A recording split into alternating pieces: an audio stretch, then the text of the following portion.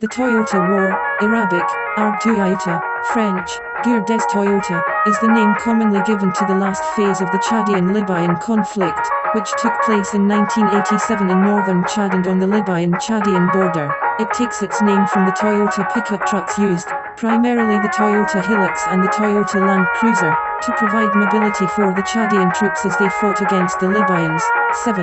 The 1987 war resulted in a heavy defeat for Libya, which, according to American sources, lost one-tenth of its army, with 7,500 men killed and 1.5 billion US dollars worth of military equipment destroyed or captured. Chadian losses were 1,000 men killed,